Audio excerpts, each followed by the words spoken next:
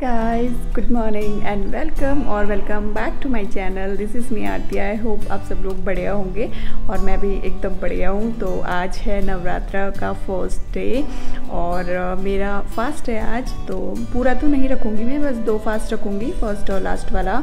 तो ब्रश मैंने कर लिया फेस वॉश कर लिया अभी नहाना है।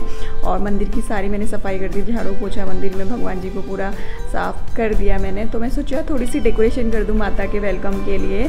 तो अभी नहा के मैं थोड़ा सा डेकोर करूँगी। ज़्यादा नहीं, बस थोड़ा सा जितना हो पाएगा मुझसे। और फिर आज दीदी और मेरा फास्ट है हमारे घर पे।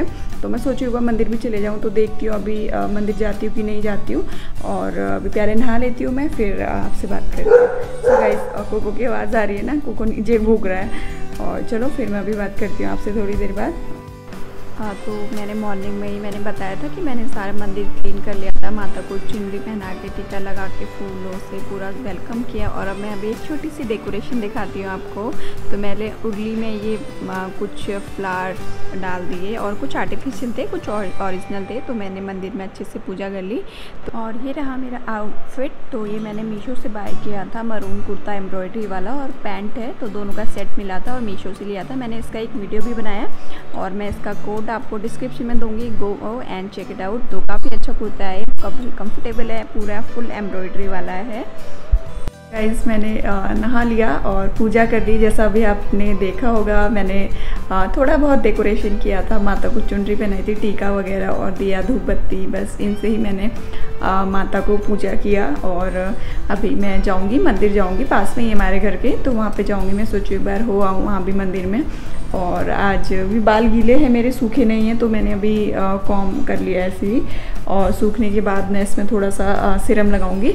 तो अभी मंदिर जाऊँगी, मंदिर से आने के बाद मैं चाय वगैरह या कुछ पीना है तो पीऊँगी। तो चलो अभी मैं चलती हूँ मंदिर, बट आप लोगों को नहीं लेके जाऊँगी मैं मंदिर। अपनी पूजा करो और अपने घर में पूजा करो और हाँ आप लोगों को नहीं लेके जाऊँगी पर हाँ आप लोगों की विश ज़रूर लेके जा सकती हूँ। जो विश है वो आप कमेंट करके बता देना पर थोड़ा लेट हो जाएगा कोई नहीं। मैं ऐसे ही आप लोगों के लिए मांग लूँगी। मेरा जो यूट्यूब फैमिली है वो हमेशा खुश रहे आ, और जिसकी कोई और भी विश है तो अगले वाले में फास्ट में पक्का भगवान से बोलूँगी। तो माता रानी से बोलूँगी। तो जल्दी जल्दी अपने विश बता दो। मुझे दस बज चुके हैं ऑलरेडी तो मैं पूजा कर लेती हूँ। उसके बाद मैं आप लोगों से मिलती हूँ। गैस मंदिर से आने के बाद मैंने मखाने मूफली और कोल्ड कॉफ़ी बना ली थी अपने लिए। और अच्छे से पूजा भी हो गई थी मेरी मंदिर में ज़्यादा भीड़ नहीं थी उस टाइम पे। सो माता दी गाइस। मखाने और चाय खा लिया और मैंने उतने सारे मैंने नहीं खाए अनुज ने भी मेरे साथ खाए थे तो हम दोनों ने मिलके खाए। और अभी हो गया टाइम तो बाकी और लोगों का खाना बन रहा है तो मेरा तो आज फास्ट है। तो फिर अभी तो मैंने कुछ भी नहीं खाया बस मखाने और चाय पी है। और फिर उसके बाद देखते हैं शाम को क्या बनेगा, क्या नहीं बनेगा। तो फिर उसके बाद मैं आपसे बात करती हूँ। हमारी चाय चाय का टाइम क्योंकि बज गए हैं चार। तो चलो चलते हैं नीचे और जल्दी से चाय बना लेती हूँ। और अभी तक मैंने आज सोई नहीं मैं क्योंकि वीडियो एडिटिंग करनी थी। और आप लोगों के लिए मैं बहुत अच्छी वीडियो लेके आ रही हूँ तो वो ज़रूर वीडियो देखना, क्योंकि होम डेकोर वाली वीडियो है। तो कल या परसों तक आपको मिल जाएगी। तो मैं वही एडिटिंग करी थी जल्दी से। ताकि आपके लिए कुछ हेल्पिंग हो शॉपिंग करने में थोड़ी सी आपको हेल्प मिल जाए तो चलो तो चलो चलते हैं गाइज़ नीचे और बनाते हैं चाय। और यहाँ पे बन गई चाय तो हम लोग अभी सब मिलके चाय पियेंगे साथ में। सो या आप भी गाइस पियो चाय तब तक। और और चाय पीने के बाद मैं शाम की पूजा की तैयारी कर रही हूँ तो यहाँ पे मैंने सारा तैयारी कर दिया है। और जितना फूल था, पुराने फूल मंदिर में उनको सारा क्लीन कर दिया। तो अभी शाम थोड़ा लेट हो गई थी, इसलिए मैं फूल तोड़ नहीं पाई। देन हम उसके बाद खाना बनाएँगे जो फास्ट वाला है तो कढ़ाई हमने रख ली और आज हमारे डिनर में बनेगा फास्ट वाला खाना। तो खाने में कुट्टू के पकौड़े बनेंगे तो कुट्टू का आटा मिलाया और आलू काट लिए थे बहुत बारीक, हरी मिर्च, धनिया और सीधा नमक। तो इसको अच्छे से धीरे मिलाएँगे और पानी ज़्यादा नहीं डालना गाइस हमें बहुत कम कम करके डालना है मतलब वरना एकदम से गीला हो जाता है ये। तो थोड़ा थोड़ा करके ही मिलाना है इसे हमें।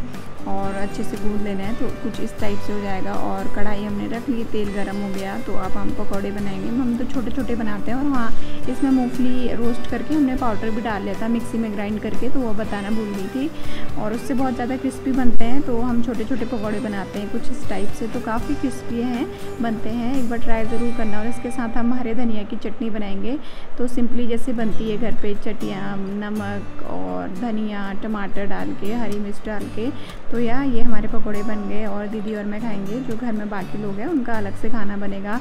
सो या गाइस ये था आज का वीडियो आई होप आपको पसंद आया होगा। अगर पसंद आया do like share and subscribe my channel और मिलते हैं नेक्स्ट इंटरेस्टिंग ब्लॉग में. टिल डे बाय और हाँ आप बताना, ये भी बताना कि आपने क्या खाया अपने फास्ट में, आपने फास्ट कैसे खोला सो या बाय